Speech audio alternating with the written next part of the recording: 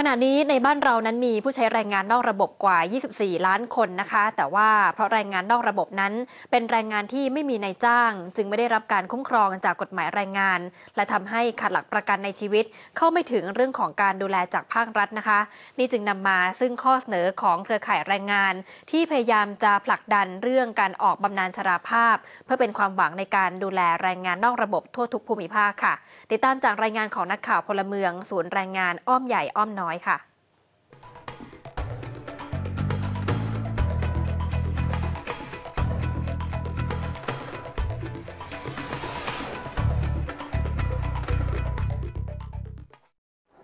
ตัวแทนผู้ใช้แรงงานจากเครือข่ายแรงงานนอกระบบ กลุ่มอาชีพต่างๆ มีข้อเสนอต่อนายกรัฐมนตรีที่มาร่วมเวทีสมัชชาแรงงานนอกระบบระดับชาติ เมื่อเดือนตุลาคมที่ผ่านมา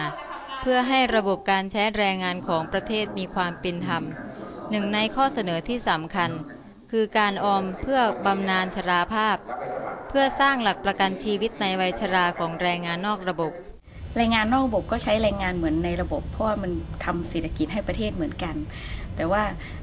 เรายังไม่ได้รับประกันสังคม ประกันสังคมก็เป็นสวัสดิการของของแรงงานค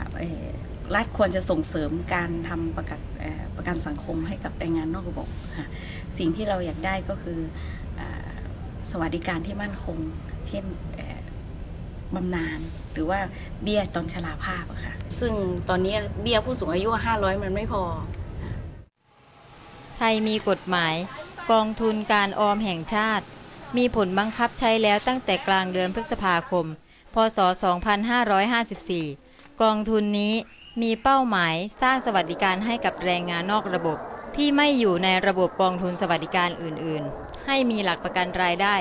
หลังเกษียณอายุด้วยการสะสมเงินร่วมกับภาครัฐ แต่ทุกวันนี้ยังไม่มีการดำเนินการใด และเงื่อนไขการเข้ากองทุน ควรปรับให้แรงงานที่ประกันตนตามพรบประกันสังคม สามารถเข้าถึงกองทุนการออมได้ด้วยเช่นกัน กองทุนการออมแห่งชาติเนี่ยระเบียบเขา กำหนดไว้ ว่าถ้าใครเป็นผู้ประกันตนมาตรา40 แล้วมีเรื่องบำเหน็จแล้วเนี่ยเข้าไปเป็นสมาชิกกองทุนการออมแห่งชาติไม่ได้นะคะแรงงานนอกระบบก็เลยต้องการให้กองทุนการออมแห่งชาติเนี่ยปลดล็อก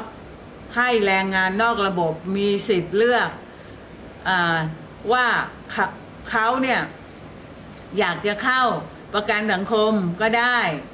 อยากจะเป็นสมาชิกกองทุนการออมก็ได้ เพราะว่ามันเป็นแบบสมัครใจด้วยกันทั้งคู่ เพราะฉะนั้นเขาก็เลยอยากมีสิทธิ์เข้าไป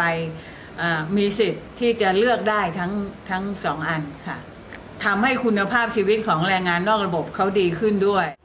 การส่งเสริมให้เกิดการออมตั้งแต่วัยทำงาน จะทำให้ชีวิตในบ้านปลายของแรงงานนอกระบบ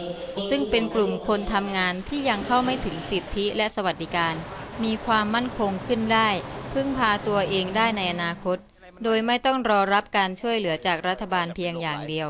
นักข่าวพลเมือง ศูนย์สื่อสารแรงงานอ้อมน้อยอ้อมใหญ่ รายงาน